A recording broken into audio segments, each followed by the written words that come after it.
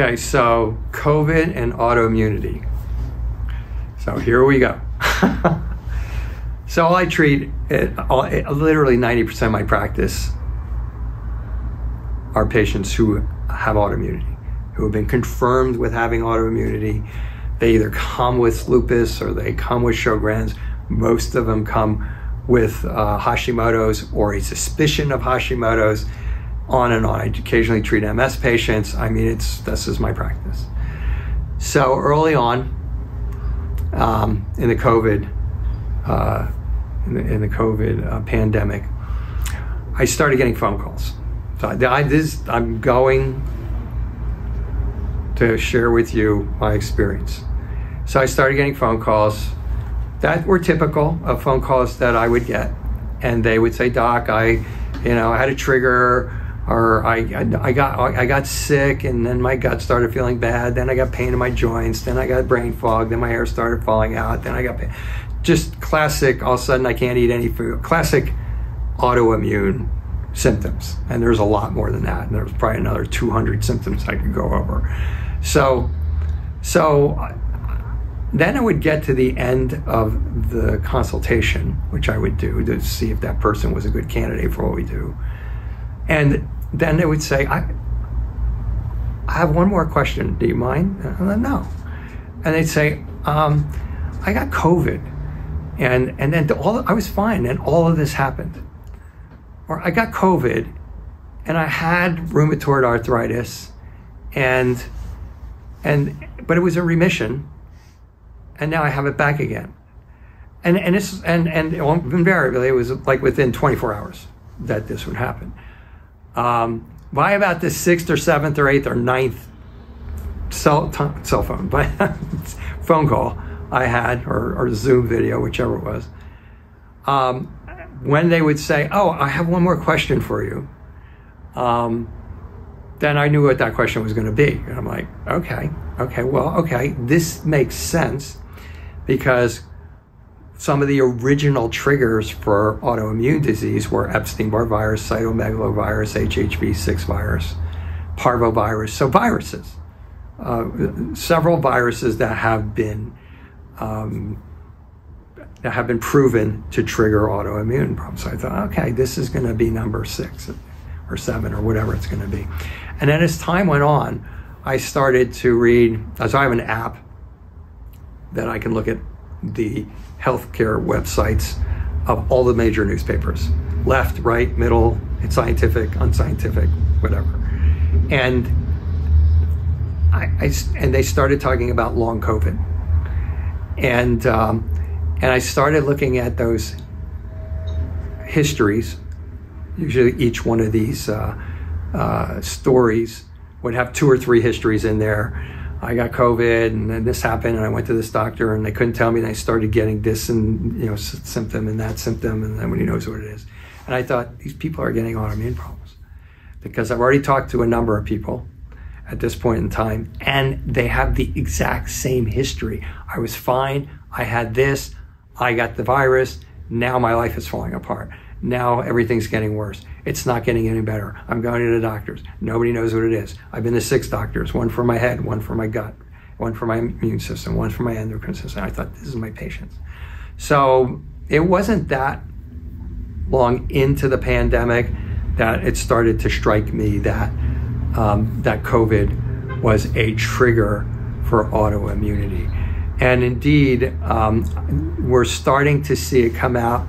If you read many of the articles about COVID and autoimmunity now, what you're going to find is is that there's it's the medical field. So the medical field is looking for some sort of a some sort of a uh, uh, pathogen, uh, or they're looking because you maybe as a as a as a COVID patient who got autoimmunity, who who is asking this question, and many of you who may be watching, um, they're looking for a pathogen for each area of the physiology that gets bad. So, so the gut people are looking for one thing, and the brains people are looking for another thing, and the immune people are looking for another thing. But in article after article after article, you're going to start to see them alluding to, oh, and they think it may be an autoimmune problem.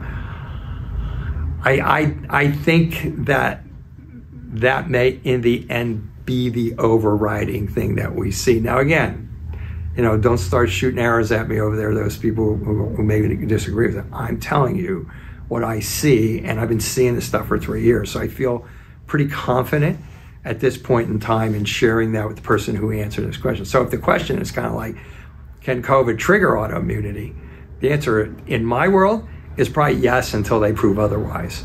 Because now I've seen 50 or 60 patients who have had COVID, gone into autoimmunity, and we treated them as we treated my other patients, which is as an autoimmune case, which means, yes, there's a viral trigger. And by the way, I've started reading, I've started seeing articles that are saying that the COVID is kind of like Lyme or kind of like Epstein Barr virus or kind of like where the virus goes in and particles still remain. Ooh, now we're going to like kill all the particles. No, because basically what happens is those particles remain, they trigger autoimmunity. If they're like Lyme, if they're like, which is a bacteria, if they're, if they're like viruses and stuff, and then those viruses linger.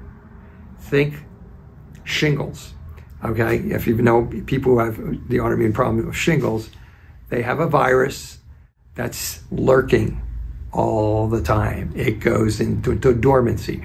But then that person becomes compromised. Either they get sick or they get under a lot of stress. The immune system's really busy trying to take care of that. Thus, now the virus, the herpes virus, can express itself, and boom, the next thing you know, you, I'm sorry, I said herpes. The shingles virus can express itself, and the next thing you know, boom. And the same thing with herpes, frankly, but but but that's how it works. So it's beginning to look to me and, and, and truly, those of us who are in clinical practice frequently see these things before the research will verify, because proper research can take years.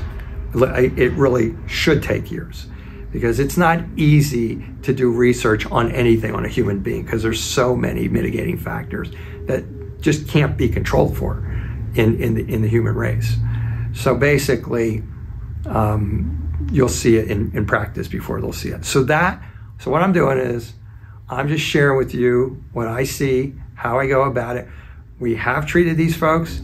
Uh, the vast majority of them have done well in treating them from the perspective of them being an autoimmune. Because it would be interesting to see what would happen, any of you guys out there who are medical doctors, if if um, if we started giving steroids to these people. Now I'm not don't throw things at the at the screen there, okay? I'm just saying that if you took steroid, if if, they, if it is autoimmune and they took steroids, people would probably feel better. I'm not saying that it's a good solution for like the next 25 years of your life. I'm just saying that if it is an autoimmune problem and you gave people steroids that would dampen the inflammation that's being caused by this viral uh, trigger, that that person should feel better. That should be a pretty simple thing to to research, researchers. So that's my understanding, or that's my observation. That's what I. That's how I go about it in in my practice, um, and and and that seems to be the direction that the literature is going. That seems to be the direction that the research is going.